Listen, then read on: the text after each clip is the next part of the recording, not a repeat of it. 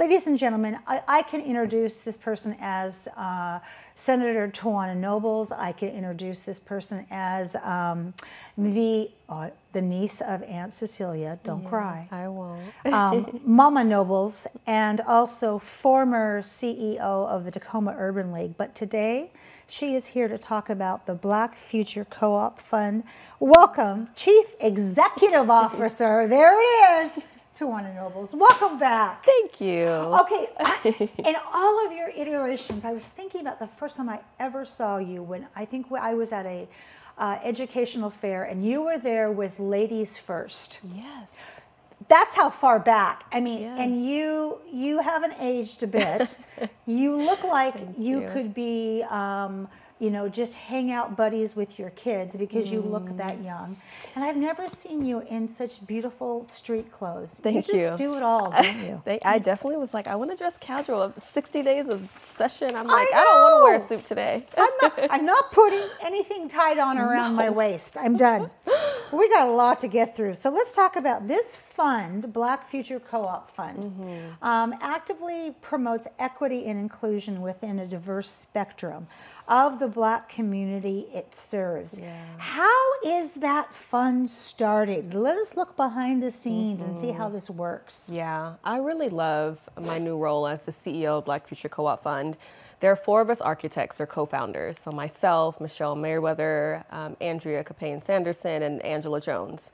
And almost four years ago, we decided that we wanted to launch a foundation that could support the very diverse black community across Washington state. You mentioned Ladies First. That was the first business that I started. I know. And so this is my newest venture, and it's so fulfilling because it's full-time philanthropy and so we really try to be in community in the black community across the state i'll talk about my listening tour uh, later yes. but we're learning what the needs are from jefferson county to um, pierce county and king county i was just in yakima last friday the day after session my to talk to the black community ground.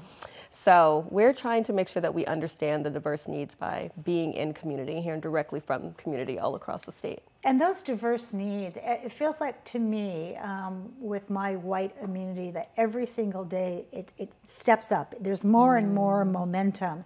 There's more and more chances to stand in the solution. Reflecting on the nearly four years of operation, what yeah. significant achievements or milestones that have have you celebrated and how have they impacted those communities because they reflect the community mm-hmm.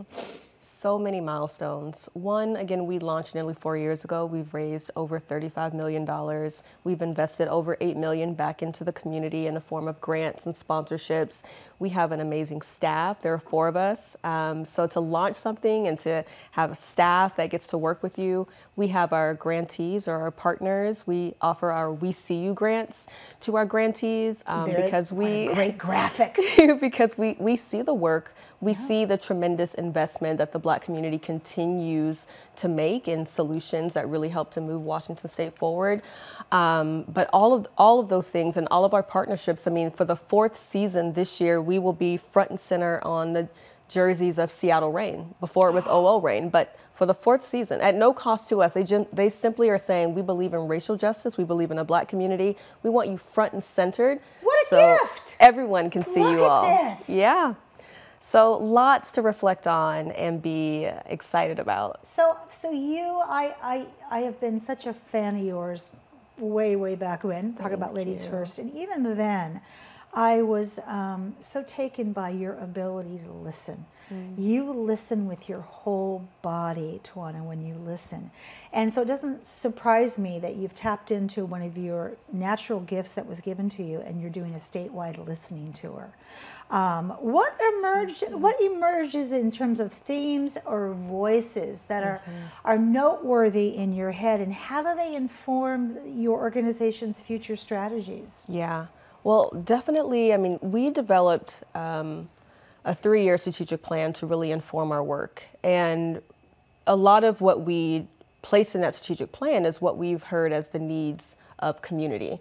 So the statewide listening tour allows us to continue to listen to community. I mentioned we were just in Yakima on Friday. Yeah. On April 12th, we have our Puget Sound listening tour. Um, we traveled out to Kitsap County for a region, and all the listening tours are regional, not just that county. But we are learning from community that education, public safety, yes. healthcare, these continue to be needs mm-hmm. uh, or these continue to be important issues, but we are also listening for community based solutions. So we produced a Black Wellbeing Report at the end of 2022, and it's available. I hope folks check it out on our website. But it really is an analysis of you know a, a thousand Black voices and what they see as challenges and also solutions, and also lifting up the incredible work of the Black community yes. in our state. But the listening tour is a continued expansion because you can't just go listen to community and do some work the needs are ever changing, the successes yeah. are ever changing, and we want to continue to promote truthful black narratives across our state.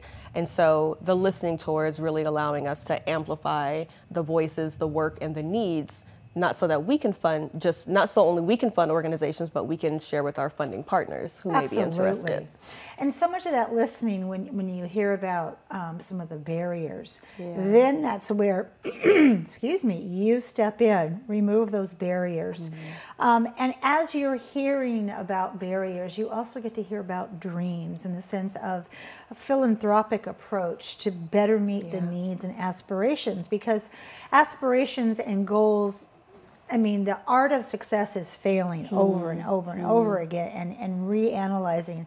So, what is it that you have learned um, that, that the black community needs to be more philanthropic to achieve their dreams? Well, the beautiful thing is we talk about how the black community has always been philanthropic. Always. I mean, we celebrate Black Philanthropy Month, but also that black philanthropy is 365. I mean, our black churches, sororities, yes. fraternities, mutual aid, our community has always been philanthropic. We've always had to um, rely on each other because we haven't been able to rely on institutions, on government.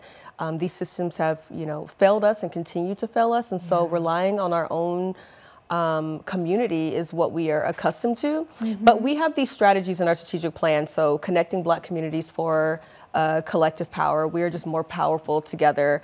Um, investing in Black generational prosperity. That really is our, our grant making process. Promoting truthful Black narratives in a way that we lift up the stories. Stories because we don't lead with a deficit model of well we have money because there is there is a gap. It's it's also black folks are doing incredible things that we yes. want to see them continue to do and resources capital could help them to do so and so we're trying to shift the philanthropic paradigm by saying you know the applications the reports these things are challenges to receive our funds, there is no application, there is no grant report, wow. there are no barriers. We travel the state to find organizations to fund their work, to sponsor their work, to amplify their work on our social media. So we're trying to be a different type of philanthropic organization. That that is just incredible. So when you look at, I mean, because obviously the oh, what a great great picture, um, the Black Future Co-op Fund, um, it is crucial in addressing the unique challenges and opportunities led by Black-led organizations and communities do you how do you zero in on mm-hmm. just as you travel just things that are homegrown that you can offer a solution to how mm-hmm. do you not mm-hmm. feel overwhelmed the reality is i do feel overwhelmed yeah i mean i feel overwhelmed by the beauty in our community I feel overwhelmed by the stories that I'm told, by the people that I get to meet. I just made, met an 80 um, year old um, leader in Yakima, Miss Esther, who has done tremendous work for that community and is just shy of a million dollars towards building a new community pool. Um, and they've worked with their state senators, and our fund is going to support them as well. But it is overwhelming to witness the beauty and the joy and the creativity, and also to recognize that this country continues to play in our face, and we have to create organizations like this to help us to move forward but the work is being done the maternal health work is being done yes. arts education like the work is being done by incredible black folks. And so um, the overwhelm is just real because it's it's um, a great beautiful diversity of gifts all across the state. And so i feel very fortunate to be in this role. As, as the four of you travel around the state and, and, and listen and take notes, during that four years, have there been moments, T'wina, when you have come back and changed a strategic plan mm. because you've seen a common denominator you didn't expect in certain communities? Tell us mm-hmm. about that. Absolutely. One thing we committed to ourselves was that our strategic framework, our strategic plan would need to be flexible for that exact reason. Absolutely. When we engage with community, there is the theoretical, yeah. the hypothetical, but then there's the reality when we're in community and we realize that maybe in the way that we communicate, maybe in the way that we're asking to receive feedback, in the way that we structure our agendas or meetings um, or enter into communities need to change so that we are being respectful and honoring mm-hmm. communities because we, are a team of black folks but we're not going to represent everyone i don't live in a no. rural area so there's a lot that i have to learn and respect Absolutely. about those communities too yeah racism and barriers in yakima look very different than how they look in um, uh, Union, Washington, mm-hmm. or um, Chehalis, mm-hmm. or something like that. I mean, so there is probably a constant evolution. Yeah. Um, and yeah. also, when you walk into a community, based upon how quickly things can change, good and not so good, that's going to change the feedback that you get. So with true. with that co-op in the fund's name. Um, how does it embody the principles and collaborations in terms of community initiatives? Mm-hmm. Because I, I, mean, you just talked about this woman in the pool in, in, Yakima. I'm thinking, man, pool is life in Yakima. That water, that, I mean, the, we got to have pools for kids. It's exercise. Yes. Swimming is a life skill. So I can imagine that there are lists of things that people want you to promote based mm. upon the mm. power of the co-op. Mm-hmm. Last minute, who do we need to thank? Because you, yeah. you, in four yeah. years, my God, 35 or 38? Over 35. 35 mm-hmm. million with an M. Mm-hmm. Okay, Mama, who do we yeah. need to thank? I want to first thank Black Washingtonians yes. for being um, joyful and resilient. I want to thank my amazing team. So we have a staff of four, and I also want to thank my fellow co-founders and architects and our consultants but so many of our partners, our donors, like folks who fund our work so we can quickly get that money back into the community. Um, and just everyone for believing in, in yes. us. I mean, it's not easy to start up something, to be a founder, but so many folks have made it possible. So thanks to all of our teams, all of our donors, um, but to community for a lot, for trusting us to do this work and for building relationship yes. with us cooperatively. I can't wait to have you back on the couch, Thank and I you. want you to bring I want you to bring some business people with you next time. Okay, yes. just kind of see if we can work on that. It's so good to see you. Thank you for Me being too. here. Thank you. It looks like we've got uh, Stuart over there in the City Line Comfort Cafe, and oh my gosh, is he talking about trees again? We're going to do a little musical chairs, and we'll be right back after this quick break.